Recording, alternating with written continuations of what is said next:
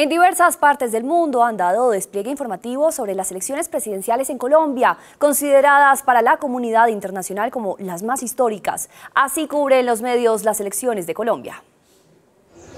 Las miradas del mundo están puestas desde muy temprano en la segunda vuelta presidencial de Colombia. Hoy se conoce el próximo presidente de la nación que gobernará desde el próximo 7 de agosto. Medios internacionales destacaron las posturas políticas de los candidatos.